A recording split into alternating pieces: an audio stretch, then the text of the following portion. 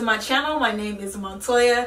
Alright, so in today's video, I'm talking about my newest course, the Toya skirt, which is a flat front and an elastic back. So, you know, I created this skirt tutorial because I don't know about you, but I I love I love a fitted waistband because I just like that uh, sleek look, but I also like the ease of elastic.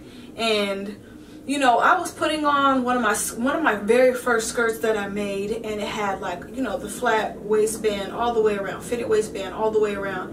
And you know that was a skirt that I had made back when I was 25 I'll be 30 in a couple months. So you know like my body has changed. You know like my waist is not the same. And I'm not trying to lose any weight just so I could fit back into that skirt. Like I still wanted to fit now and today. So I'm like, you know, I need to start creating skirts that are going to move with me as my waistline grows. I need for my skirts to go ahead and move on with me as well because the fabric that I use it's you know rare fabric. Like it's not like i can just you know four years later i'm gonna find the fabric again. That's not how it works. And you know my pieces are very unique. Everything that i create it's like you know a classic silhouette. So no matter the time period like my things are going to last. Because what i like to do when i'm sewing is what i make. I like for it to be like I'm going to be able to wear this for years to come. I spent my time making it and I also spent my money on fabric making it. So these things need to last. They need to be built to last. I'm all about uh, quality over quantity. That's just, you know, a standard that I like to live by. So after I made this uh, flat front elastic back, I was like, this it this it for me right here like I, I got the best of both worlds because one thing about me is i'm a foodie food is my love language. And you know i be trying to be you know looking cute with that flat front. Then i start eating a little bit then you know i gotta take that zipper out just a little bit so i can breathe. And it's like i don't want to give up eating how i want to eat. Like i like eating good okay? Especially you know when i'm out like i'm i'm a throw down. You know i'm not about to, one of them little dainty. No i'm not dainty. I like to look cute but i still like to eat real good so that's what this skirt allows me to do. You know, I can step out of my maxi skirt, looking cute. It's nice and long, cover up my feet with my sandals. You know, so I still look, you know, nice and elegant. I ain't gotta wear no heels. Cause I got flat feet. Lord knows my feet be hurting when I be wearing them heels. So I could, you know, wear my sandals, you know, and still be looking cute. So this skirt tutorial right here, this is it. I know I love it. I know you are going to love it. So for my new tutorials that I'll be creating, I call it the Timeless Collection. And here's a little quote that I wrote about this collection. Create garments that are sewn to last through the trends of time and through our ever-changing waistlines.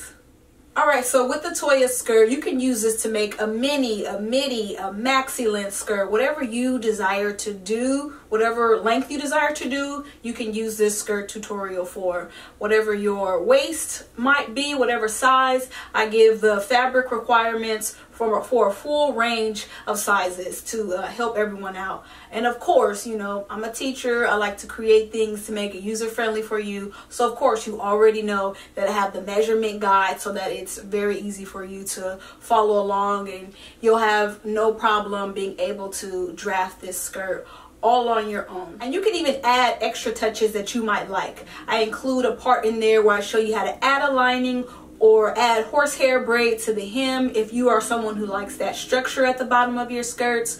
Um, I show you how to add belt loops. If you're someone who would like belt loops, you want a sash, you'll be able to mix and match this tutorial so many different ways to form it towards your style, what you desire to create. So if you've enjoyed my skirt tutorials here on YouTube, you are in for a treat. You will be sure to love this one. I break it down step by step. The platform that I use, you'll be able to navigate it so easily, so easy friendly. You'll be able to go to any section that you desire without having to fast forward and try to figure out where is that spot at again. It's all labeled out for you nicely. So, so here is an up close view of how the course is laid out. So it is broken down into different chapters, and then within the chapters, you're able to um, see the different videos and corresponding PDFs that um, may go with the videos. So nice and easy to navigate. You're able to pick up where you left off, fast forward through things, go back to things that you need to refresh your memory on.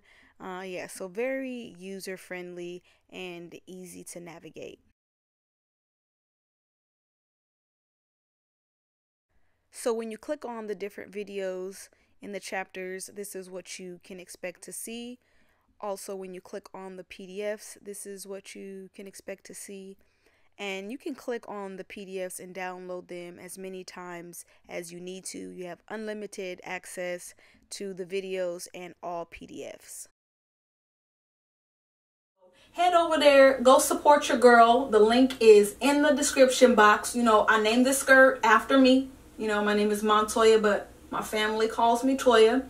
So yeah, head over there and I appreciate your support now, all the love that you have shown me on my channel and will continue to show on my channel and also with the new courses that I am creating, teaching the world to sew. That's what I love to do. All right, until next time.